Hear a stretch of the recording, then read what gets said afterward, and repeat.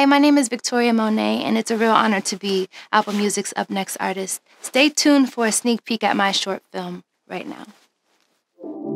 It's a very intimidating thing to step into the light.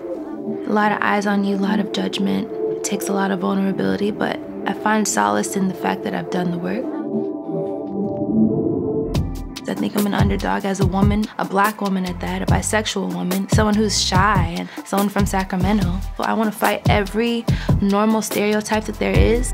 I want to have my people who look and feel like me represented. I'm ready. I hope you guys really enjoyed that and learning about me. Watch the full film right now on Apple Music.